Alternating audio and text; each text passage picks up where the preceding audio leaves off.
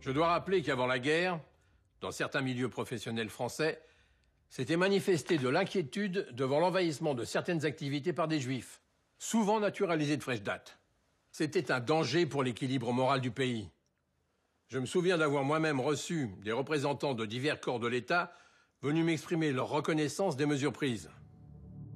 À la Libération, Pérouton n'hésite pas à reporter sur la société la responsabilité de sa politique anti-juive.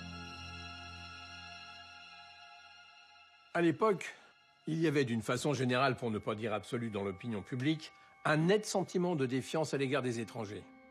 Comme ministre de l'Intérieur, j'avais par-dessus tout le souci de la sécurité française. L'internement des étrangers de race juive était une simple mesure d'ordre public. Le lendemain de Montoire, il y eut un conseil des ministres.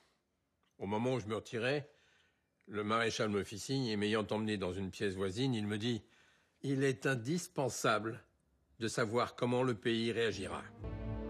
Pérouton n'émettra aucun regret. Depuis le renvoi de Laval, les Allemands nous rendaient la vie impossible.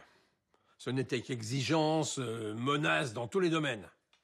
Nous avions le sentiment d'être dans une tempête. Nous raidir dans des attitudes d'opposition risquait de faire courir aux Français de graves dangers. J'ai travaillé dans le seul intérêt de la France. Je m'excuse d'y revenir. Mais qui a signé l'ordre d'arrestation de M. Laval? C'est Pérouton.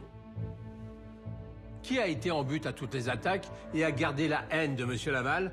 Je réponds encore, c'est Pérouton.